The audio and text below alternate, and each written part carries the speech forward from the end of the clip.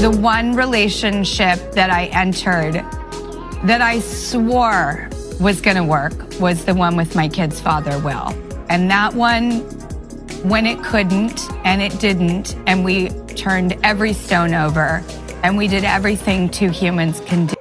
Drew Barrymore is the greatest fan of her ex-husband's new wife.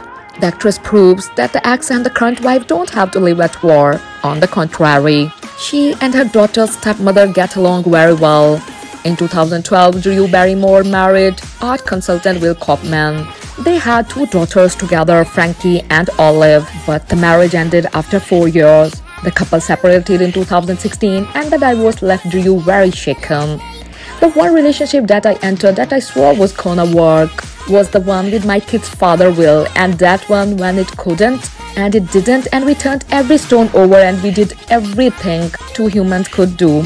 But the end of their marriage didn't mean their good relationship went down the drain. Even after the divorce, they had an amicable relationship. They realized they just weren't together in paper anymore. In life, they remained connected by what they have built together, a family.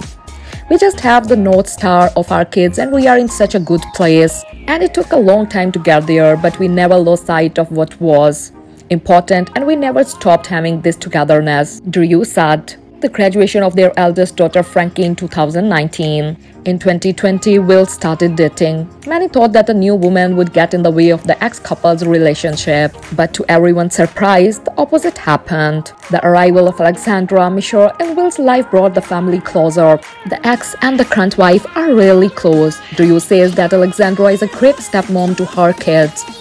The no evil stepmother is the greatest blessing I could have ever hoped for. She is just so wonderful. The three of them built a great relationship and a new family.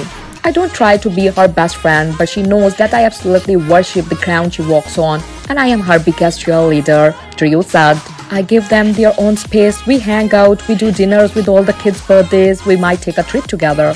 We are finding our way in a beautiful, slow, respectful manner. Will and Alexandra got married in August 2021. Frankie and Olive were flower girls. And Drew thinks she got really lucky with their union. I just feel like I won the lottery with her. I feel like I'm lucky that there is this new beautiful soul that came into our lives. I'm just so lucky because she came into Will's life and got to know my daughters very well and very real, so all the warts and all the hurt. Well, in my opinion, Drew is extremely positive. Would you be as mature as Drew Barrymore? Share your opinion in the comment section and don't forget to subscribe the channel for more updates. Till then, bye bye.